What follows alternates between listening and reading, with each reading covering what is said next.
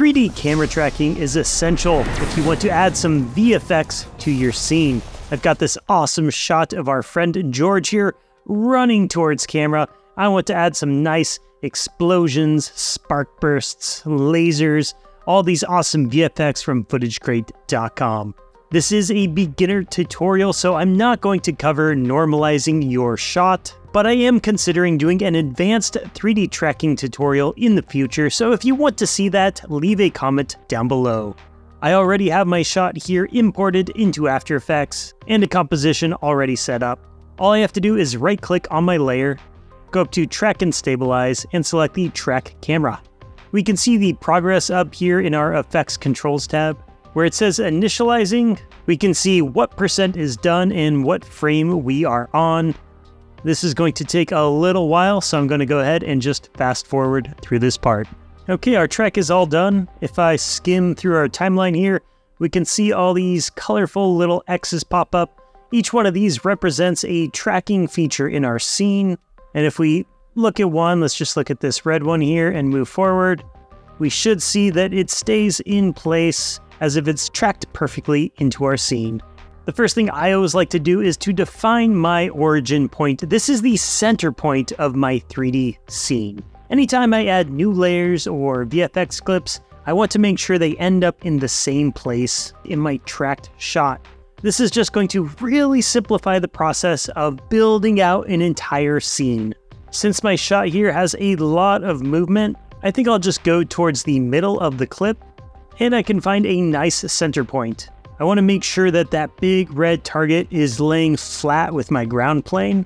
I can also select a number of these points on the ground and see that I have a nice flat looking target. The next step is to right click on it and then go to set ground plane and origin. Then I can right click again and create a solid in a camera. We'll see that that solid is now tracked into our scene. And if I select my solid and hit P for position, we'll see that the position is 0, 0, 0. So this is now the origin of our 3D tracked scene. I'm going to add some VFX from FootageCrate.com. I found this awesome spark ground burst effect, so I'm just going to drag that into my composition. And then to align it to my playhead, I could just hit the left bracket here. And then I want to make this a 3D layer. Now, if you don't see the 3D icon, just go to the toggle switch mode down here at the bottom. And we want to find that 3D cube and just check it on for our new VFX shot. And now it is sitting in 3D space. But it's not aligned to our origin point, this solid here. So if I hit P for position, we'll see that our position for that layer is 1920 by 1080. So let's just change it to 0, 0, 0. And we're still not seeing it, but we are seeing that our anchor point or our axis is sitting in our center point. So what do we have to do? Well, we have to make sure that the bottom of our spark burst effect is aligned with that anchor point. So I'm just going to hit Control Z a couple times. So now our layer is no longer 3D and the position is just 1920 by 1080. This is a 4K composition. If you're working in, let's say 1920 by 1080, your default position would be 960 by 540. But since I'm in a 4K composition, my position default is 1920 by 1080. Now here is where we actually want to change the anchor point of our VFX shot. I can select this little icon up here for the pan behind anchor tool, or I could just use the shortcut Y. That's going to let me select this anchor point and drag it to the bottom of my VFX shot. Now if I make it a 3D layer and I change the position to be 0, 0, 0, we'll see that it aligns perfectly with the origin that we set earlier. Just so we can see everything better, I'm going to disable the visibility on this blue solid. And let's just scroll through and make sure that that spark tracks into our scene. Now I am seeing an issue where it is not oriented towards camera. This is an issue with 2D layers tracked into a 3D shot. They will look 2D if they are not directly facing camera. Now there are a couple ways to solve this. If we had already normalized our scene, this layer would be facing camera directly, but we'll cover that in a later tutorial. For now, let's just use a quick trick. With our layer selected, let's go up to Layer, Transform, and find where it says Auto Orient, and then select the Orient towards camera, and hit OK. And now our spark effect is facing camera and it no longer has that 2D card look. Then to bring back my selection tool, because I still have that pan behind tool selected, let's hit V, and I can move it over in the X axis. I don't want to move it up in the Y axis or down in the Y axis because I don't want it to look like it's floating or drifting below the ground, but I can move it on the Z axis to move it towards camera or away from camera as well. Let's actually find a good place for this spark effect to go off. So right here, George kind of ducks down, so maybe there's a laser flying over his head or some bomb whizzing by. So again, I'm going to hit my left bracket to align my spark clip with that playhead. And let's just align the spark on the ground, kind of where we think that impact would happen. And because we adjusted our anchor point before, we can adjust the scale if we want, and it's still going to stick to the ground. And then I'll select the toggle switches and modes down here, and let's change our blending mode to screen. And let's see what happens when we play this out. That's pretty good. Now there is just this one small issue. George should be in front of the sparks here, but the sparks are actually appearing over him. We would have to rotoscope him out for the sparks to appear behind him. We did cover rotoscoping previously in another compositing tutorial. I'll put a link to that down below and in a card above here.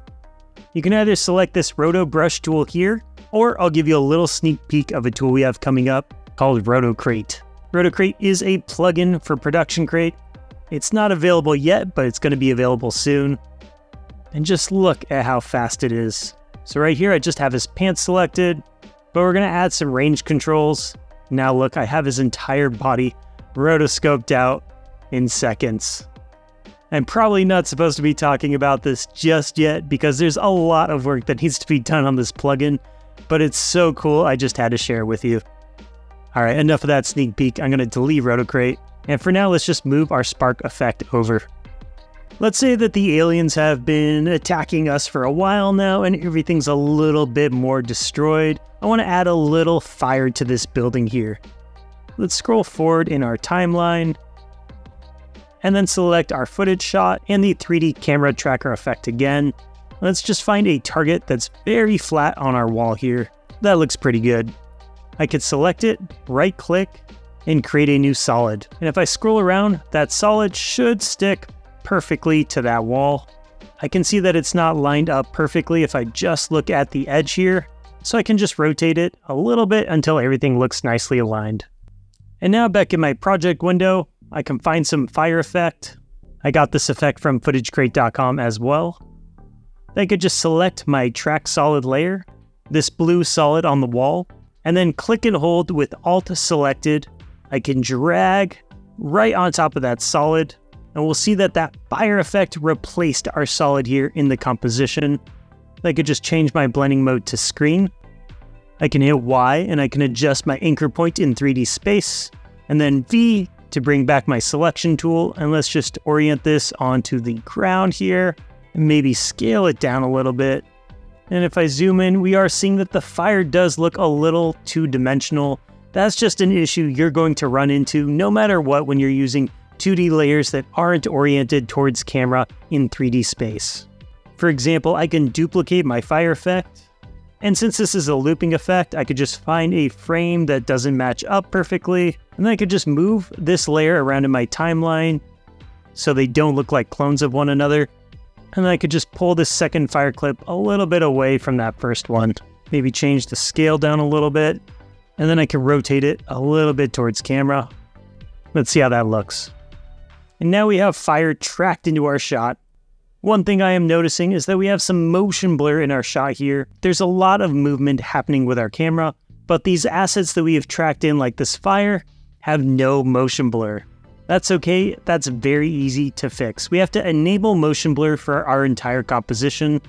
If you come down here and you see these three circles, just select that, and that's enabling motion blur. And then we want to find these three circles again for each layer that we're enabling motion blur for. So hit the toggle switches and modes if you don't see it, and then just enable motion blur for each VFX asset that you have added to your scene. So here's with motion blur, and here's without and that looks way more natural and way more integrated into our shot. I'm going to go through this shot and add a ton of additional VFX from footagecrate.com. And then Nico's going to do some final sound effects using sounds and music from SoundsCrate. And here is our final shot.